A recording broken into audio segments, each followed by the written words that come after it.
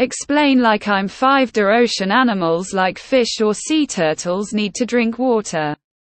If so how do they do it? Sea snakes don't have the salt excretion abilities of turtles or fish. So they wait for rainfall and drink the fresh water that collects on the ocean's surface. What about sea plants too? If I feed saltwater to normal plants it would kill them. How do they get their water? It depends on an animal. Fish gulps in water and can easily handle it.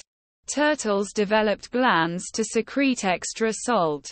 I've read that some sea snakes cannot drink seawater during rain they come to the surface and drink rainwater. Many animals acquire all of their water from their food.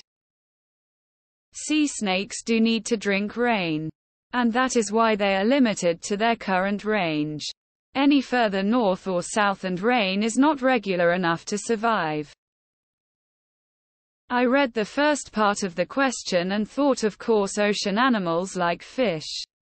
It's the only thing on the menu.